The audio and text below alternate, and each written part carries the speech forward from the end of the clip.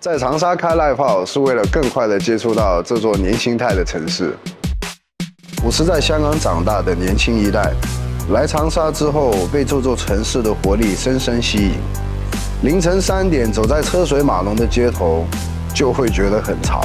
赖炮是二零一九年正式营业的，位置还不错，跟香港相比租金很友好，顺利度过疫情之后不用我操心太多。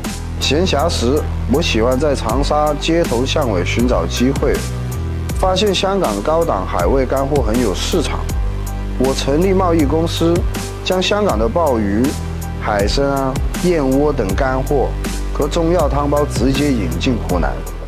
东部街的靠大叮当响，灯笼街的灯笼亮当当。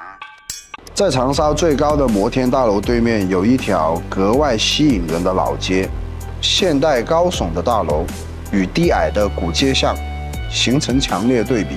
几个月前，我拿到了这条街上长沙剧院的十年租约，这是长沙唯一一个保留原址历史最长的老剧院。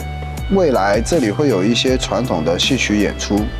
看我在长沙做的这些事情，很多人都说跨度很大，但其实只要你人在长沙，你就会感受得到有机遇才有无限的可能。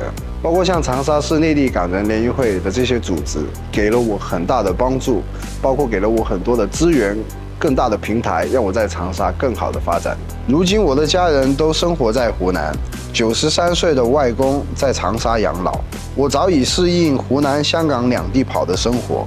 我也经常跟香港的年轻人交流，也希望通过我的经历来带动香港的年轻人来到内地发展。